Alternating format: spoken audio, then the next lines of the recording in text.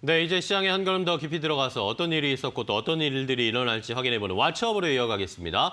자, 오늘도 현대경제연구원 최호 고문과 함께합니다. 고문님 안녕하세요. 네, 반갑습니다. 반갑습니다. 네. 자, 오늘 어, 목에 뭘 들으셨나요? 네, 오늘 뭐 우리 어, 붉은 악마들의 응원 어, 어, 수건이죠. 네. 어, 오늘 온두라스하고 올림픽 이제 축구. 올림픽 축구인데 어, 꼭 승리하겠다는 기원을 좀 얘기하고 아, 싶고요. 좋습니다. 8월 7일까지 좀 이거 좀 차고 나왔으면 좋겠어요. 아, 8월 계속? 7일 날이 축구 결승전 하는 날입니다. 아, 예, 결승전까지 바란다라는 네. 그렇죠.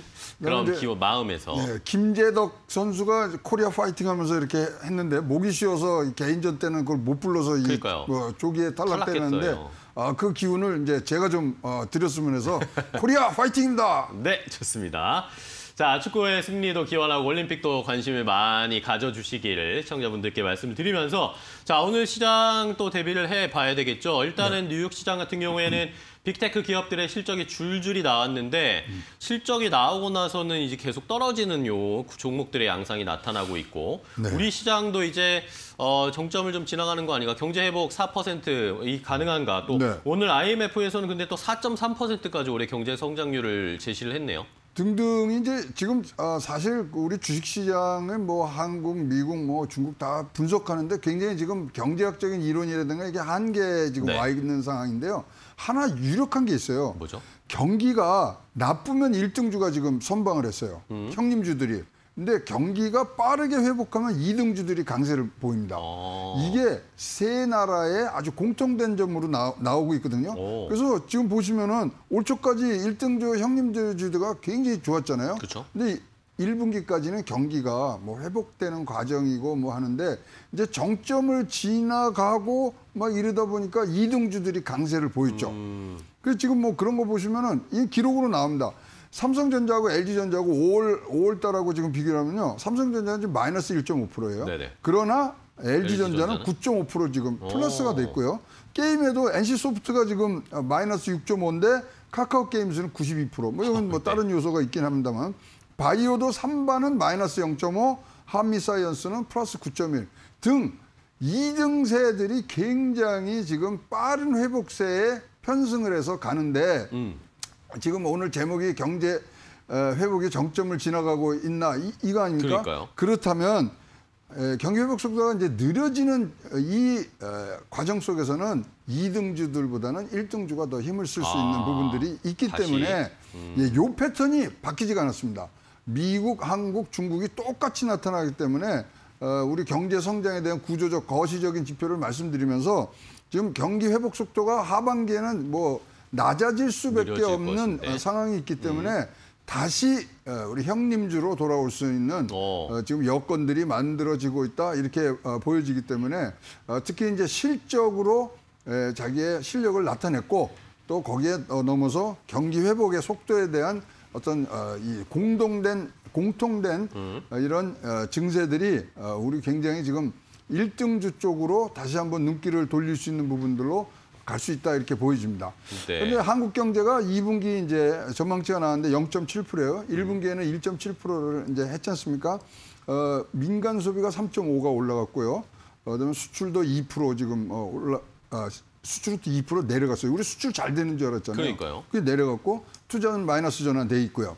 그래서 이제 보니까 성장 기업들 보니까 소비를 하는 게 어, 민간 소비가 지금 어, 1.6% 정도를 음. 지금 어, 차지하고 있기 때문에 이거를 이게 버텨줬는데 지금 뭐 거리두기 가지 않습니까? 그러니까요. 그러다 보니까 이게 쭉 빠질 수 있는 상황이 있어서 네. 사실 지금 일각에서는 3분기 마이너스 역성장 지금 얘기도 지금 나오고 어우, 있습니다. 네. 그렇다면 뭐 이제 경제야 이제 경제 당국에서 잘 하겠지만 우리 그럼 증시는 어떻게 대비해야 되느냐? 네네. 경기가 나쁘면 어, 형님주라고 형님. 말씀드렸잖아요. 자, 형님주의 계절이 지금 돌아올 개연성이 굉장히 어. 높아졌죠.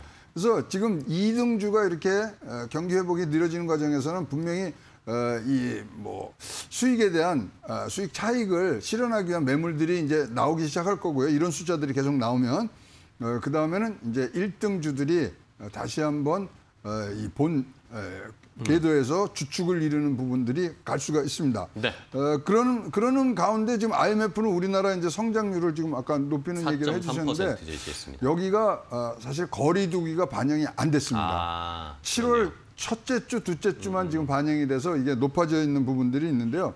어, 중국은 1분기에 지금 뭐 18.3% 갔다가 2분기에 어, 7.9%로 꺾어졌지 않습니까? 네네. 미국 증시 보시, 아, 중국 증시 보시면 그대로 이 현상이 나타납니다. 아, 그렇네요. 그다음에 미국도 지금 2분기 경기 회복 어, 예, 정점을 통과하면서 지금 실적들이 나오는데 오늘 뭐 애플 뭐 여러 군데 어, 마이크로소프트 나왔지만 네. 여기가 이렇게 다른 때보다가 힘차게 모멘텀을 가질 수 있는 거는 이 현상이 그대로 음. 적용되고 있다고 지금 보여지기 때문에 어, 지금 어, 뭐 우리 나오는 여러 가지들 그다음에 FOMC 이런 것들이 끝난다면은 네.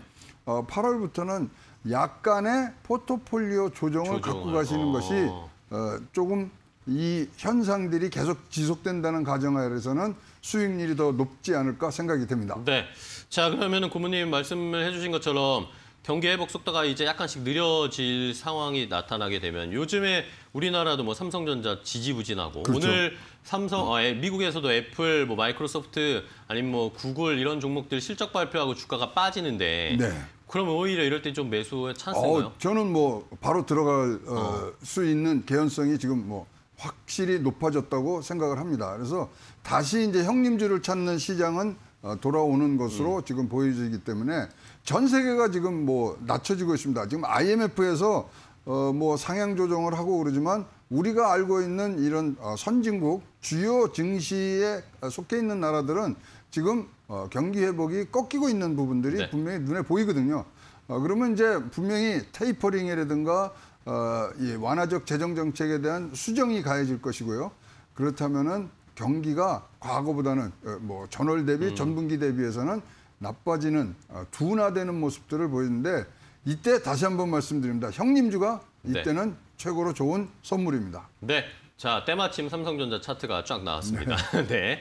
자, 이렇게 경기 두 성장, 이제 회복세가 약간씩 둔화되면은 오히려 다시 대장주, 형님주로 조금 시선을 돌려야 된다라는 의견을 주셨으니까 시청자 여러분들 잘 참고해 주시기 바랍니다.